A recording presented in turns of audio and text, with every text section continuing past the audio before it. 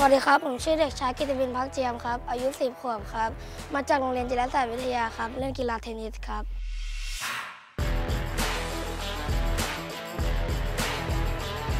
ผมเริ่มเล่นตั้งแต่อายุ 9 ขวบครับ สาเหตุที่ผมมาเล่นก็คือ ตอนแรกผมแค่มาออกกำลังกายเฉยๆครับ แต่พอทำไปทำมาผมเริ่มชอบกับมันแล้วครับ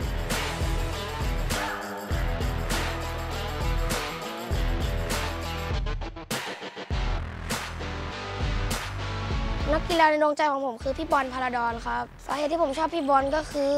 เขาเป็นคนที่เล่นเทนนิสเก่งครับ แล้วเขาได้อันดับหนึ่งของประเทศไทยครับ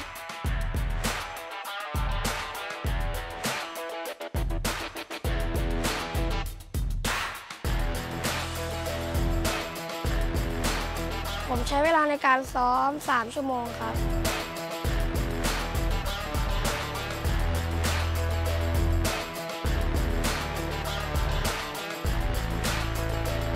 ความใฝ่ฝันของผมก็คืออยากเป็นนักกีฬาทีมชาติอยากรับใช้ชาติครับ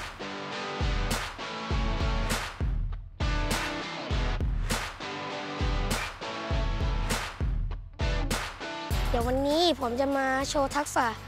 ในการเล่นกีฬาเทนนิสให้เพื่อนๆได้ดูกันนะครับ ไปกันเลย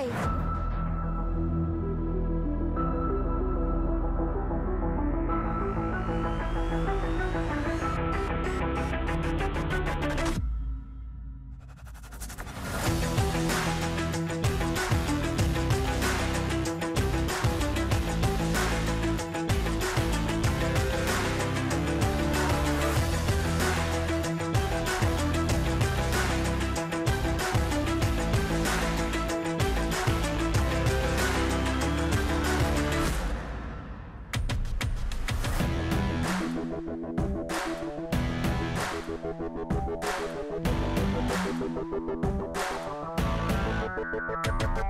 you.